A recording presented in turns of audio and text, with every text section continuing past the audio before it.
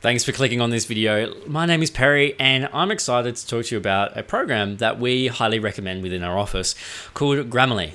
Now Grammarly comes in two flavors. It comes in free. Uh, free has a whole bunch of options in there which you're going to use day in day out and you'll love and you won't get rid of it. Premium has some little um, other aspects which you might want to look at and I'll touch on those in a brief second but they're the two different flavors that it comes in and you don't need to worry about jumping into the premium one straight away. So what is Grammarly? Grammarly is a uh, it's a punctuation, spelling, structure, all those spell checker. It's just all of those things put into one little program that works so nicely within Chrome and within Microsoft Word and Outlook.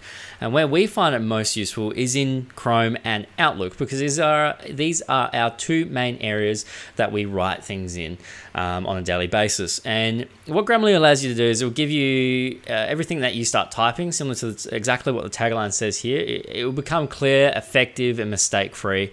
Um, not only that, but you'll start to learn from your mistakes better than you would have using the um, the built-in Microsoft um, uh, spell correct spell checker. So let me just jump into it. Here we have the Grammarly website.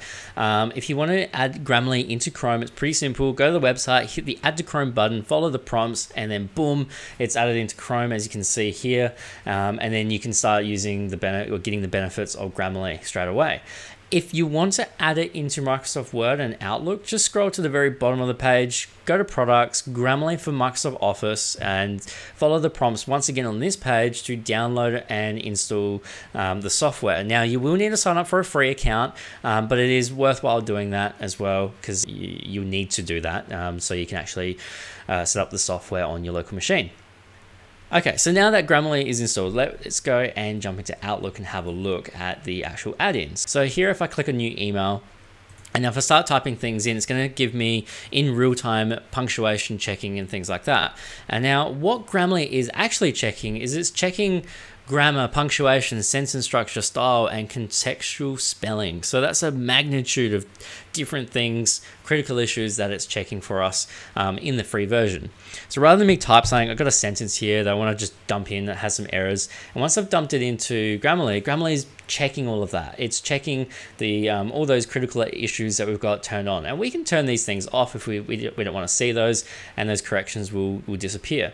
So if I turn them back on, it will, it will show those corrections, which is pretty cool. So to get rid of all these um, corrections that we need to fix up, we can just go through and select the ones we, we, we want. Um, if there's something we're not sure about, if we click in the white area, you will see a drop down and then it will give you a bit more of an understanding to why that occurred. And if it's not a misspelt word, you can actually add it to your own personal dictionary. Um, the other cool thing is the section for checking punctuation. Um, so punctuation is very important. So here we have uh, the set the section here says also, and it's actually missing a comma. So it will give us a reason for that. We can click on more and get a better understanding of uh, why that is actually missing. And then if we're happy, we can just click on the also button, and that will um, that will fix it up.